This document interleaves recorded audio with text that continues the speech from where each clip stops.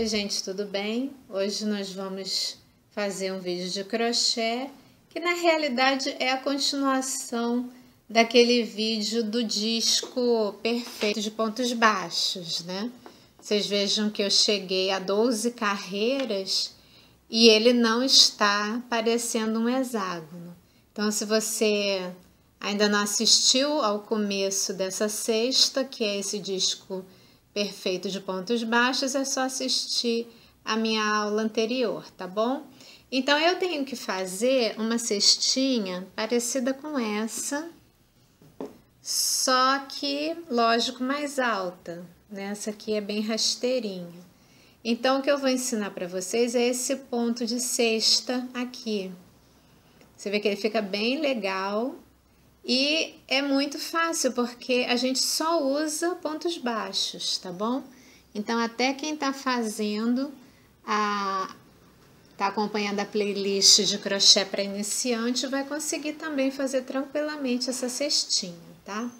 Então vamos lá. Eu vou virar, mudar o foco da câmera para a gente conseguir começar o nosso trabalho. Bom, então vamos começar. Eu vou continuar seguindo esse padrão de carreira sem fim, né? Sem para não criar emenda na cestinha tá? Então, eu vou continuar para me facilitar a usar o marcador de ponto. É, essa primeira carreira do corpo da cesta é, é só de pontos baixos, mas só que você vai pegar é nessa argolinha de trás, tá vendo? Você não vai pegar o ponto inteiro como a gente costuma pegar assim, aparecendo dois fios aqui na agulha. A gente vai pegar é só uma alça e a alça de trás, tá vendo? E a partir de agora, nós não vamos fazer aumento nenhum, tá? Porque a ideia é que agora o trabalho comece a fechar mesmo. Então, estão proibidos os aumentos. Os aumentos é só aqui nesse período da base, do disquinho. Então, vamos lá. Então, é simplesmente uma carreira de pontos baixos sempre pegando a alça de trás. Vou botar aqui o marcador. Então, já sei que aqui é minha primeira, meu primeiro ponto. E aí é simples mesmo, essa carreira não tem mistério, tá? Ponto baixo. Aqui na alça de trás, você coloca a agulha dentro do ponto e pega a alça de trás. Ó, Tá vendo a correntinha? Entra com a agulha dentro da correntinha e pega a alça de trás. De novo, ó. Entra a agulha na correntinha, pega a alça de trás e faz o ponto baixo. Então, isso, tá vendo? Faz com que fique um leve relevo aqui. Além de deixar bonito, porque aqui vai ficar a dobra né, da, da cestinha, fica bonitinho com esse relevo em volta. Depois, se você quiser, você também pode usar essas alcinhas para fazer um enfeite ao redor da cesta, tá bom? Então, vou fazer aqui mais um com vocês. Olha, entra a agulha na correntinha, pega a sua alça de trás e faz o ponto baixo, tá bom? Então, esse é o padrão dessa primeira carreira do corpo da cesta. E aí, eu vou terminar a minha carreira, ok?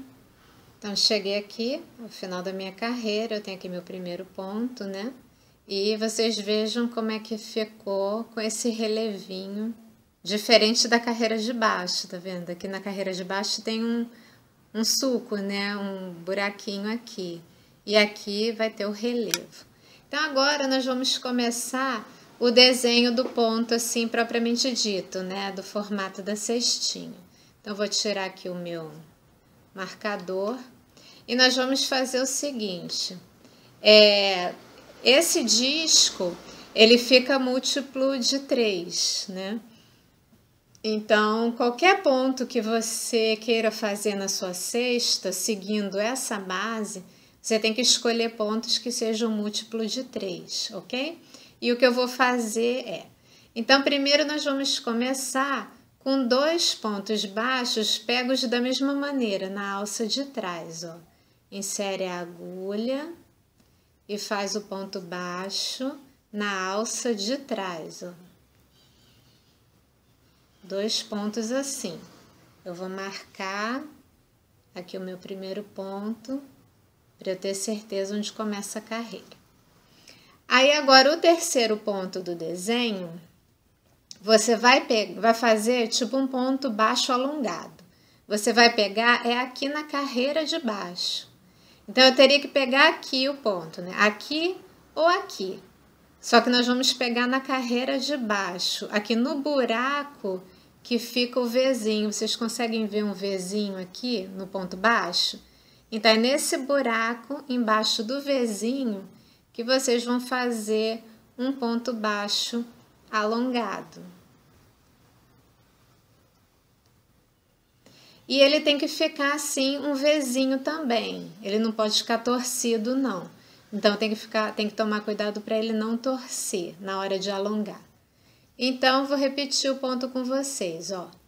Dois pontos baixos com pegos pela laçada de trás, ó. Inseri a agulha, peguei na laçada de trás, fiz dois pontos. Agora, eu não vou pegar nem aqui, nem aqui. Eu vou pegar na carreira de baixo, ó. Tá vendo V? Tem um V e tem um buraquinho aqui embaixo do V, tá vendo? Eu tô esticando aqui para vocês verem. Então, é nesse buraquinho embaixo do V é que você vai puxar o ponto baixo alongado. E aí ficou assim.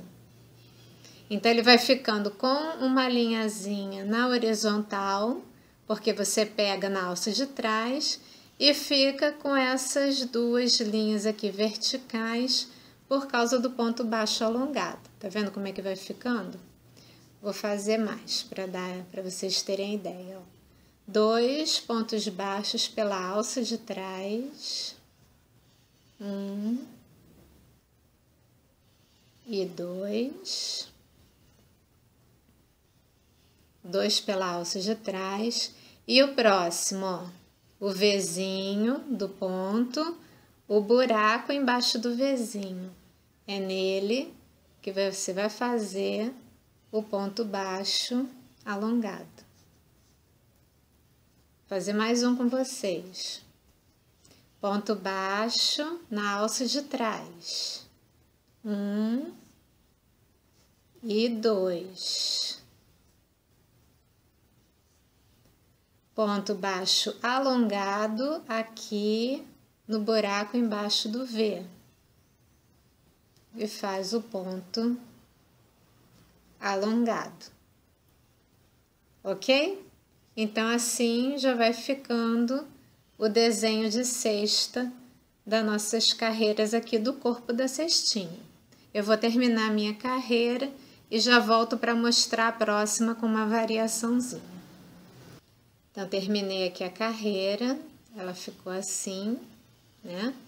E eu terminei certinho com um ponto alongado porque eu iniciei a carreira com os dois pontos pegos pela laçada de trás. Aí agora nós vamos desencontrar o desenho, tá? Então, para desencontrar o desenho, ao invés de começar com os dois pontos baixos pela laçada de trás, eu vou fazer só um, tá? Fazer só um ponto baixo pela laçada de trás. Vou marcar aqui, que é o meu primeiro ponto. E vou fazer um ponto alongado no próximo. Ponto alongado é aqui, né? Tem o V. Aí, tá vendo? Vai ficar desencontrado o ponto alongado. Para dar essa ideia de cestinha assim mesmo, né? Aqui, ó. Ficou um ponto alongado aqui e outro atrás. E aí eu continuo do mesmo jeito, tá? Dois pontos baixos pela laçada de trás. E aí o ponto alongado aqui no buraco da carreira anterior.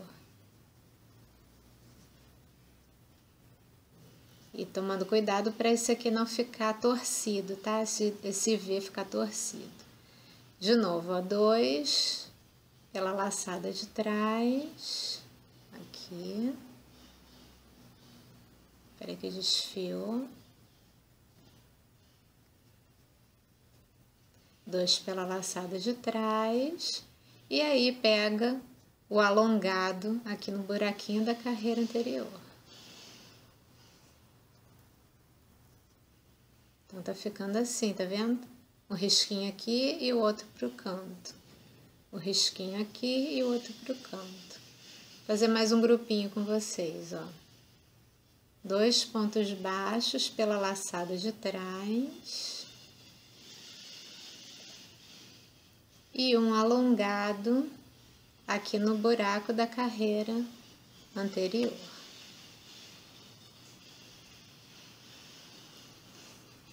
Ok? Então, esse aqui é o padrão dessa carreira. É igualzinha. A única diferença é que para desencontrar, eu comecei só com um ponto para trás, um ponto pela laçada de trás e aí já fiz o alongado logo depois. Mas aí o padrão depois continua igualzinho, né? dois por trás, alongado, dois por trás, alongado, e assim por diante. Então, vou terminar minha carreira e já volto. Então, cheguei aqui praticamente ao final da minha carreira, né? E ficou assim o padrão dessa segunda carreira, assim, do, do desenho. Como eu comecei só com um ponto é, pela laçada de trás, eu vou terminar a carreira também com um ponto na laçada de trás para ficarem, para ficar o padrão igual, né? 2 1 2 1. Agora eu vou variar mais um pouquinho. Então agora eu vou começar pelo ponto alongado, tá? Então aqui no buraquinho do próximo ponto, eu vou começar pelo ponto alongado. E aí eu vou fazer dois pontos por trás. Um, e dois. Eu vou sempre desencontrando o ponto alongado. E aí eu fiz dois por trás, né? Vou fazer outro alongado aqui. Na carreira anterior. E aí dois por trás. Um. E dois. Aí eu vou fazer o alongado.